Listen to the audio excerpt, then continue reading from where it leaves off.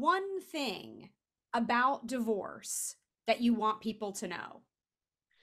I've said a lot about it being a start and a future, but let me let me talk on another issue. I, I think we need to change the way divorce cases are handled these days because I will tell you, people seem every client you get is convinced of their case, right? And I have one another one right now. I have to talk with the client in a couple of days.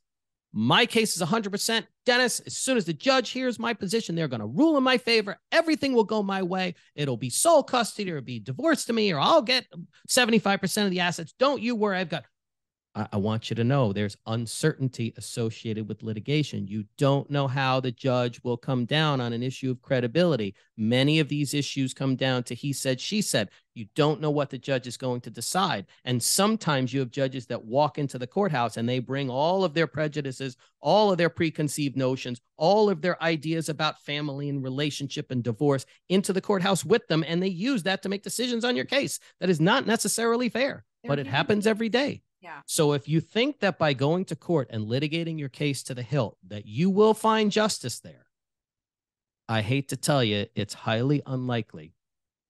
So my point is use your experts to get your emotions right, negotiate where you can. If you need to dig your heels in and insist on what's fair, insist on what's fair, but you know, try try to do it the easy way. Try to do it the easy way if you can.